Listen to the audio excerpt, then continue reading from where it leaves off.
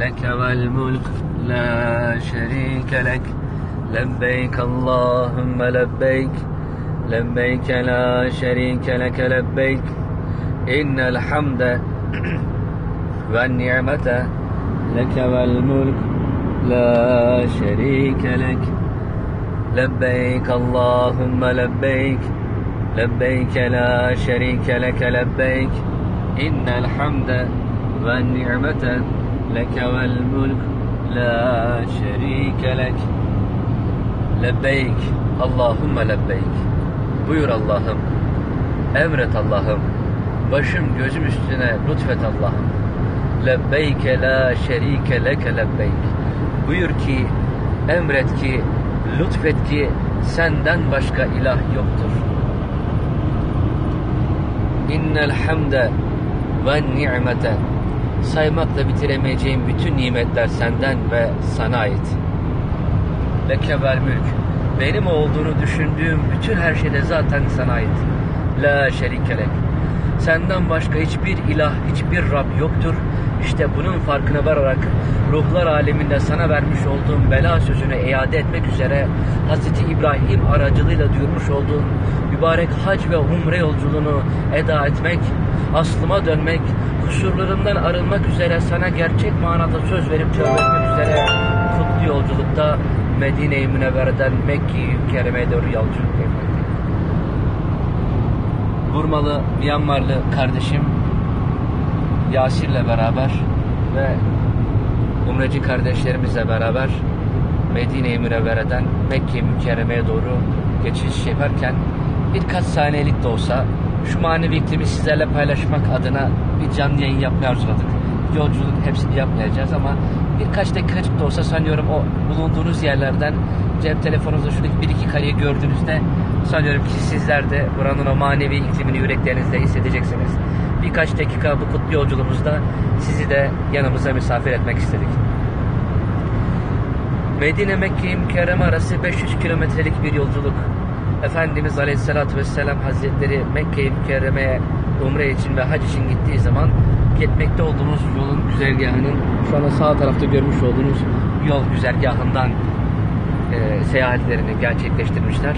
Efendimiz zaten bir tane haccı var. 631 yılında miladi hac emredilmişti. Efendimiz Hazretleri o hacca gelemedi o sene. Çünkü senetül vüfuttu. Yani çeşitli ülkelerden gelen elçileri Allah Resulü Medine'de ağırlamaktaydı. 632 yılındaki hacca teşrif ettiler. O senede son haccı oldu. Çünkü o hacdan 3 ay sonra vefat etti Efendimiz Hazretleri. Bundan dolayı veda hacı denildi. O yüzden Efendimizin peygamberliğinden sonraki 23 yıllık zaman içerisinde tek bir haccı vardır. Umre olarak da 3 tane umresi vardır. Veda hacı ile beraber yaptığı umresi Hudeybiye'ye gelmiş olduğu zaman Çağrı filminden de o sahneyi hatırlarsınız. O zamanki umresi bir de Mekke'nin fethinden sonra Cirane dediğimiz Taif yolu üzerindeki bölgeden yapmış olduğu umre. Hac ve umre temel kaideleriyle Kur'an'ın da belirttiği üzere semboller üzerine kurulu bir ibadet sevgili dostlar. O sembollerin hikmetlerini sorguladığımız zaman Kabe'ye tapan bir putperest değil, Allah'ın emrine Kabe ile tapan birer mümin olduğumuzun farkına varma imkanına sahip oluyoruz. Efendimiz Hz. Muhammed Aleyhisselam'ın Rabbul Alemin olan yani bütün insanların ve yaratılmışların Rabbi olan Allah'ın bütün insanların ve yaratılmışların rahmet vesilesi olan Resulullah sallallahu aleyhi ve sellemin tebligatıyla, örnekliğiyle baktığımız zaman karşımızda bu rahmet tablosu önümüze çıkıyor. Bir nevi kulluk talimgahı da diyebiliriz. O yüzden şu kadar tavaf, şu kadar hac yaptığım gibi istatistik tutulabilecek bir ibadet değildir bu ibadet. Bu ibadet bir kere de olsa öze dönüş yapabilmektir. Hani bizim Türkiye'de İstanbul'daki ifadeyle bir kere de olsa adam gibi yapabilmektir. Ve imkan buldukça, fırsat buldukça tekrarlayarak onu dil ve tarz.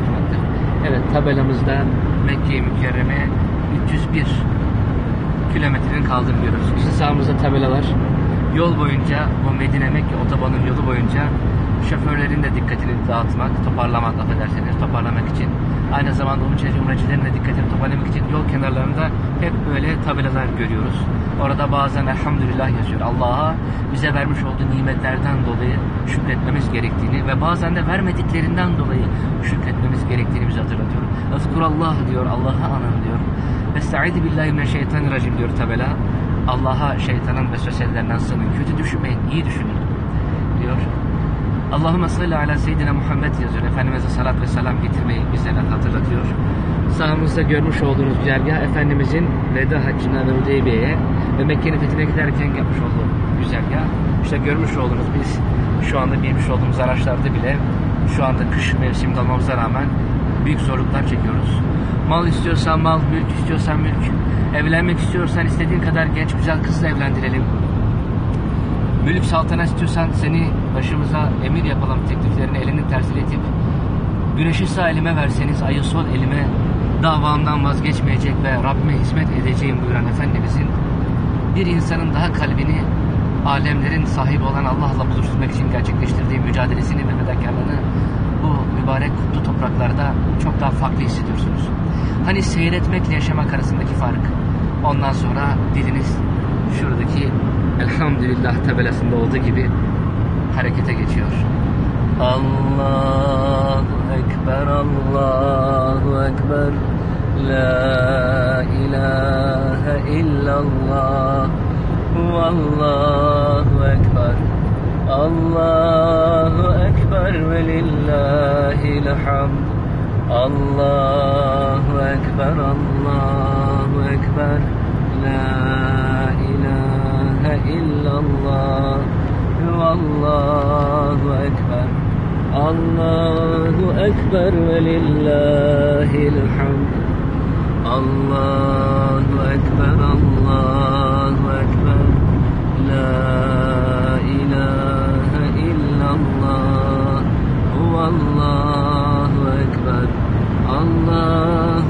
Ekber ve lillahil hamd. Allah en büyüktür.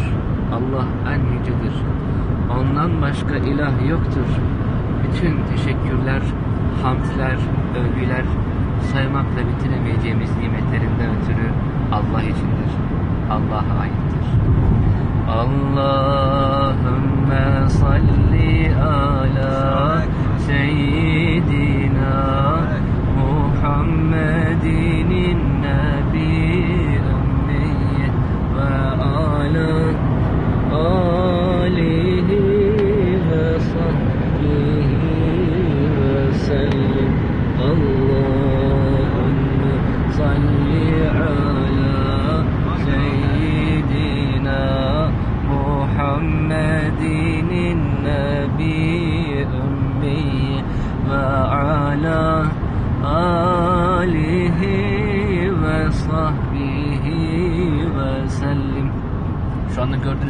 ihramlıyız kardeşlerim. Hiç planımda yoktu. Gerçekten tevafuken pat diye denk geldi. Orada sizden birisinin belki nasibidir. İhramlıyız. Umre'ye niyetlendik. Yasaklardan uzak vaziyetteyiz. Dini sorunlarımızın farkındayız. Riyadan Allah'a sığınırız. Şu anda yolumuzdan geçerken bize selam veren kardeşlerim yazı yazdınız. Rabbimden niyaz ediyorum. Rabbim şu anda bizi uzak mesafelerden de olsa, internet vesilesiyle de olsa bir şekilde bizi şu anda takip eden manevi dünyasıyla Efendimizin hadisinde beyan ettiği gibi innemel a'malu bin niyet kalbindeki temiz niyetiyle şu anda bizim içerimizde bulunan kardeşlerimizden, şu anda bizi takip eden, yazı yazan, gönül ile burada olan kardeşlerimizin de buraya hayırlısıyla güzel içeri, güzellik içerisinde gelmelerini, Medine-i Münevvere'ye varmalarını, Es-salatu vesselamu aleyke ya Resulallah, Es-salatu vesselamu aleyke ya Habiballah diyerek Peygamberi zişanını ziyaret etmeyi, bizim yaptığımız gibi Medine'den Mekke'ye hicret edercesine yolculuk edip Mekke'yi mükerremede Kabe'yi muazzamaya doya doya bakmayı, ona yüz göz sürebilmeyi, orada umreci ve hac olmayı bu kardeşlerimize de nasip eyle kurban oldum Mevlam. Şu anda duamıza amin diyen bir şekilde bizimle beraber manevi dünyasıyla beraber olan kardeşlerimin de sence malum olan sıkıntıları vardır. Onların da sıkıntılarına hayırlısıyla çıkış imkanları aç Allah'ım. Maddi manevi hastalıkları vardır bu kardeşlerimizin. Şu üzerimdeki ihramın hürmetine, niyet etmiş olduğum umremin hürmetine, senin katında değer görecek olan varsa bir zikrim, bir duam, onun hürmetine, Allah Resulü'nün hicret ettiği, ibadet yaptığı şu topraklar hürmetine bu kardeşlerimizin de sıkıntılarını gider Allah'ım. Allah'ım bu kardeşlerimiz içerisinden maddi manevi hastalıklar olan kardeşlerimizin hastalıklarına şifalar ihsan eyle Allah'ım. Maddi manevi dertleri olan kardeşlerimize devalar ihsan eyle Allah'ım. Maddi borçları ve manevi kul hakları olan kardeşlerimize de helalinden, kolayından, zorluk çekmeden borçlarını ödemeyi nasip eyle. Gönüllerini kırmadan, ferahlıkları yaşayarak bunalıma da düşmeden kul haklarını da ödeyebilmelerini ve bundan sonraki ömürlerinin kurtulmalarını nasip eyle Allah'ım. Evli olanları varsa yuvalarına huzur, birlik, afiyet nasip eyle Allah'ım. Evli olmayanlar varsa onlara da içi dışı gerçek manada, kamil manada bir olan, dışı kötü gözüküp dışı iyi gözüküp içeride evlendikten sonra kardeşlerimize sıkıntı yapacaklardan uzak eyle. İçi dışı bir olan, helaline helal bilen, iyilerden olan kişilerden kendilerine eşler nasip eyle Allah'ım. Evli olan, çocuğu olanların evlatlarını salih salihalardan eyle. Evladı olmayanlara salih salih evlat nasip eyle. Vatanımızı, milletimizi, bilad İslami, bütün ümmeti Muhammed'i sen koru Allah'ım. Vatanımızı üzerinde ümmeti Muhammed'in topraklarının üzerinde sinsi planlar kurmaya çalışanlara sen fırsat verme kurban oldun Mevlam. Senin için zor olan hiçbir şey yok. Sen ol deyince bütün kainat yaratansın. Öl deyince bin bir türlü ordularına rağmen masum Müslümanları zalimlerin zulmünden koruyansın. Musalar için Firavunların denizlerde boğansın. İbrahimler için Nemrutları ateşlerde dağlayansın. İbrahim, İsmailler için bıçakları kesmeyensin.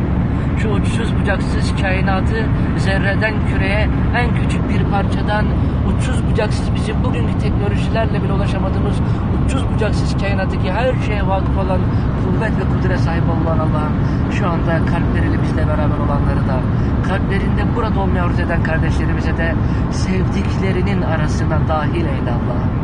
Sen istenilenleri verenlerin en hayırlısısın ve kendisinden istenileceklerin en hayırlısısın. Gönlümüzü, ruhumuzu sana açtık ey sevgili Rabbimiz, canım Rabbimiz. Öyleyse ve izâ se'eleke ibâdî anni fe inni qarîb ucibu da'veted da'i izâ da'an felyestecibû li vel yu'minû bi leallehum yerşudûn buyuruyorsun. Kullarım eğer seni bana sorarlarsa ey peygamberim Muhammed Aleyhisselam de ki ben onlara size çok yakınım. Dua edenin duasına icabet ederim buyuruyorsun. Öyleyse biz sana şu umrelerimiz, telbiyelerimiz, zikirlerimiz, telavet etmekte olduğumuz Kur'an-ı Kerim'deki ayetlerimiz hürmetine senden istiyoruz. Allahümme inna nes'aluka min hayri ma se'aleka minhu nebiyyuke Muhammed. Allah'ım Peygamberimiz Muhammed Aleyhisselatü Vesselam ki şu yolculukta yürüdüğümüz mekanlarda hac ve umreler yapmıştır. Onun senden istediği dünya ve ahiretteki tüm iyilikleri istiyoruz bizden ihsan eyle. Ve ne'udhu bike min şerri mesta'ade minhu nebiyyuke Muhammed. Onun sana sığındığı dünya ve ahiretteki tüm şerlerden ve afetlerden sana sunuyoruz.